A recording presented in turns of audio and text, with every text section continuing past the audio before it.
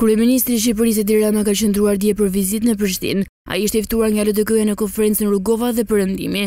Përveç kësaj, Rama u prit në takim nga presidentja e vendit, Vjosa Osmani, por edhe nga kryetari i Prishtinës Përparim Rama, por një takim të tillë nuk e realizoi me homologun e tij, Albin Kurti. E në lidhje me vizitën e Ramës në Prishtinë dhe pjesëmarrjen e tij në konferencën Rugova dhe Perëndimi, në një prononcim për Bota sot ka folur veprimtari nga Amerika, Ramazan Bekteshi.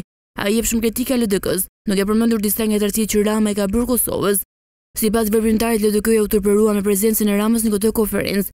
Ku fshihen rugovistët e vërtetë? A ka mbet ndonjë akademik patriot? Pse nuk reagojnë për tradhësinë e Ramës kur ai Veriun e quan tokë e askujt? Kur protestoi pse policia e Kosovës si përgjegjëse e parë zbaton ligjin dhe e mbron atë në veri të Kosovës, por Rama s'e do këtë sepse kërkon vetëm KFOR-in? Dhe pse me mund shumëvjeçar policia e Kosovës e fitoi të drejtën të jetë përgjegjëse reaguese e parë?